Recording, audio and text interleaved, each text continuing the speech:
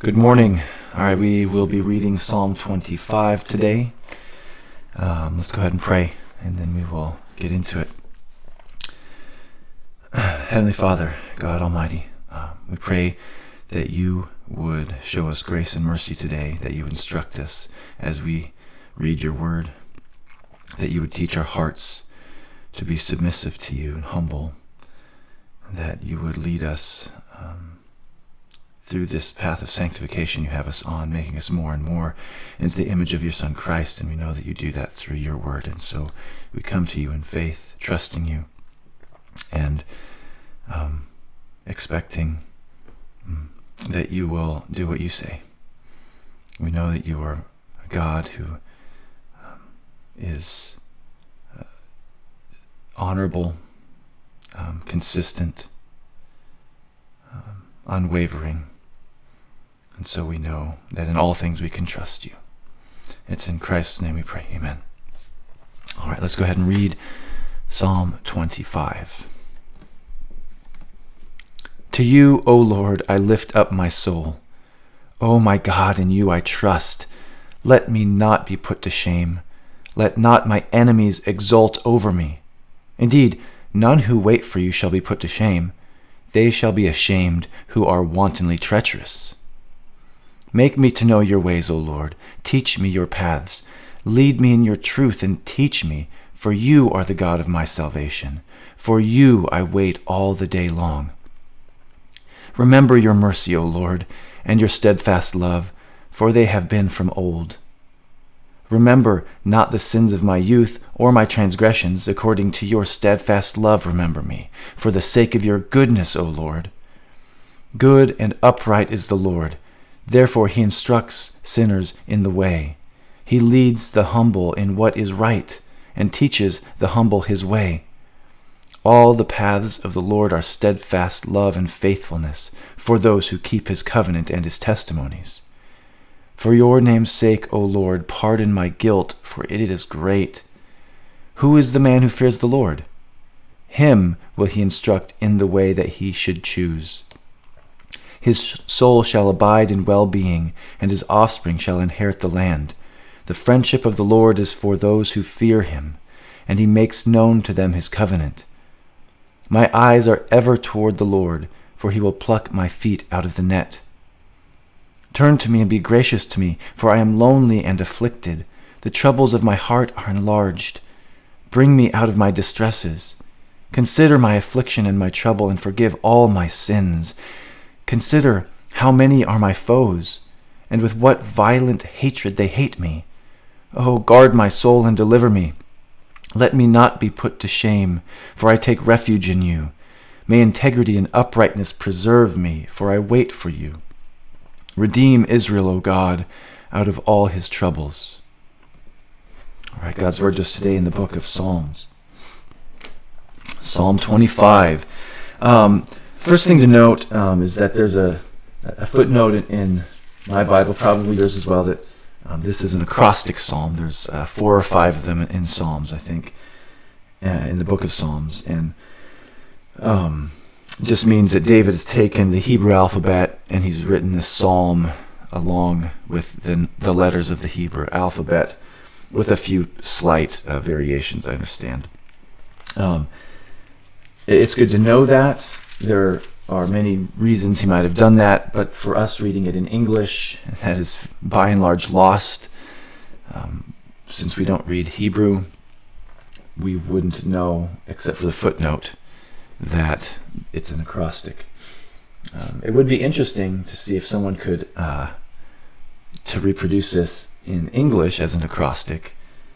Um, although there's 26 letters in the English alphabet, it would be probably um, futile to do so because too much of the meaning of the original would be lost.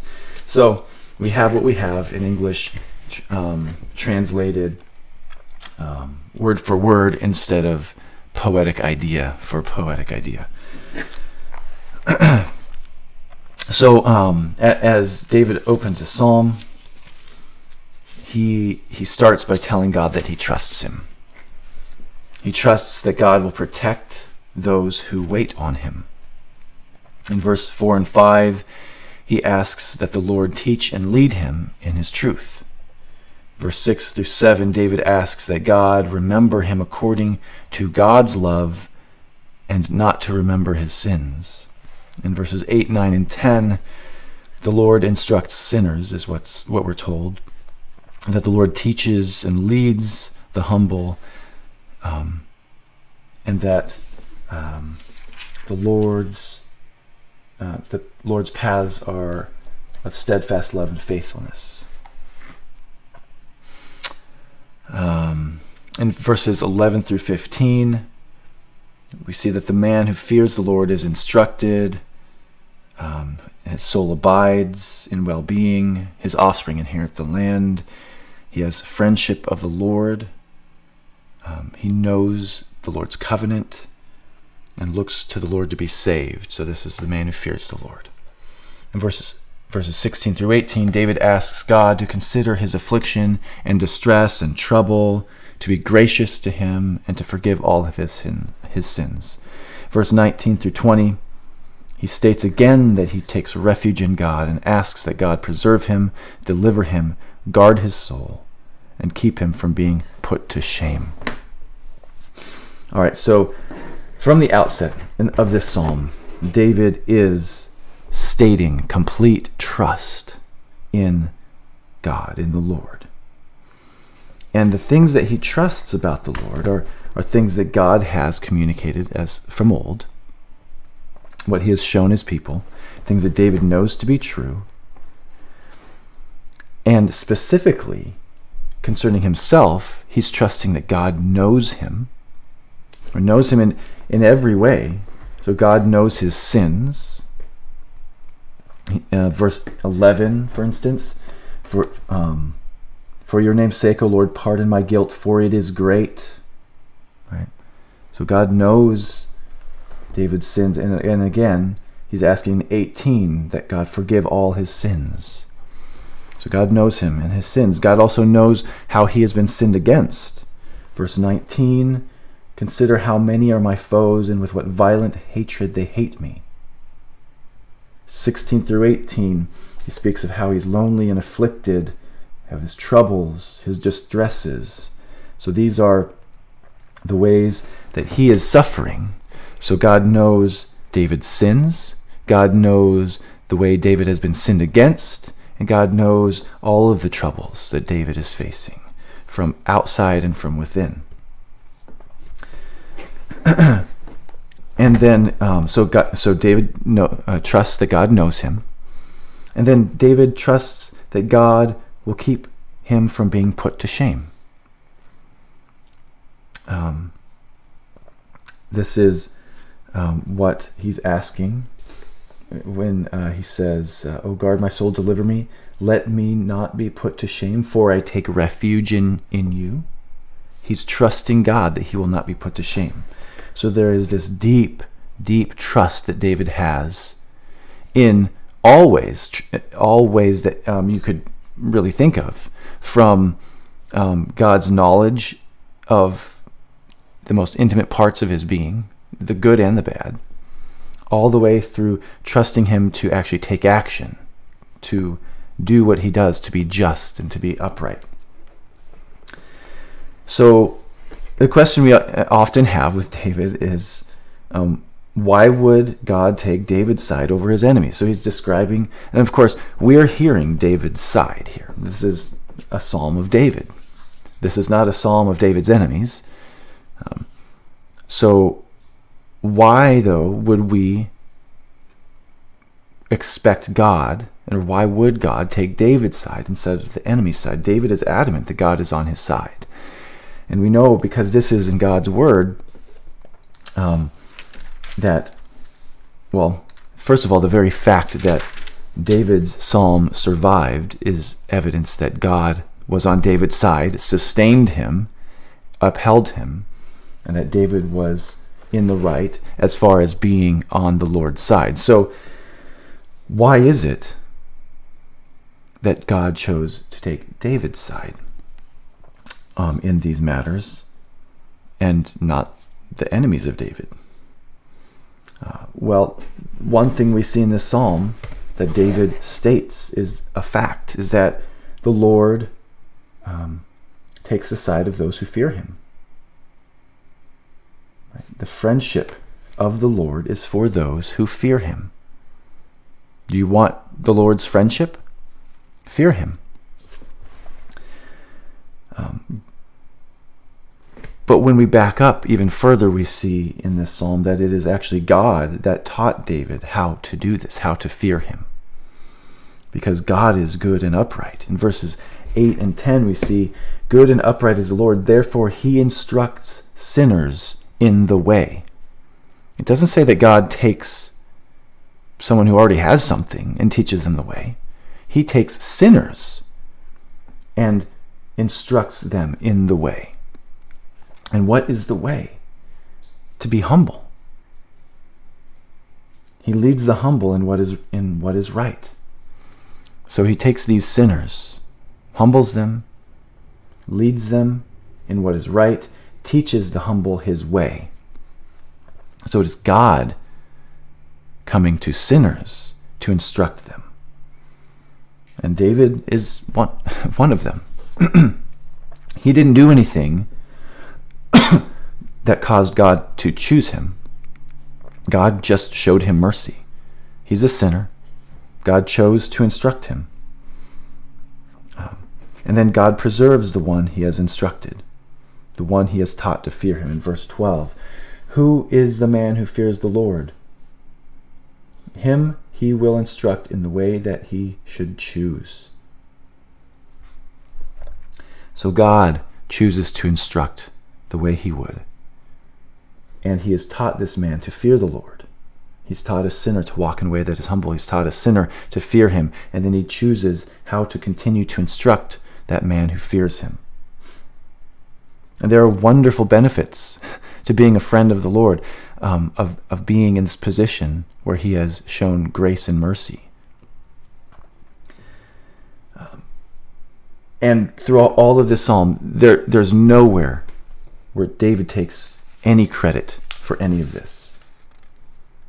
He's constantly asking that the Lord show him mercy, the Lord be gracious to him, the Lord please consider my affliction. Lord, I trust you that you will not put, um, allow me to be put to shame, that you will um, make your paths, your ways known to me, you teach me your paths. Um, I wait on you, Lord, because the Lord is the one who's going to take action. David doesn't take credit for any of this. He's simply saying, I wait on the Lord. The Lord is the one who started this work in me. He instructed me, He's leading me. So I'm going to wait here um, for the Lord to show up and, and continue to do the work He's begun. So again, the Lord taught him to fear, how to fear Him. That was verse 12. Um, the Lord instructed David, who was a sinner, how to be humble. Um, the Lord leads David, who is humble, in what is right. it is the Lord's path and the Lord's steadfast love.